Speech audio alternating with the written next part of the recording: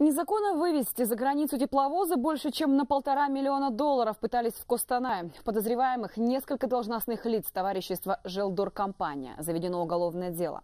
Под видом транспортировки для ремонта они якобы вывезли два тепловоза в Россию, чтобы затем продать. При этом подделали документы и перебили заводские номера на технике. Известно, что тепловозы этой марки выпускаются на Брянском машиностроительном заводе.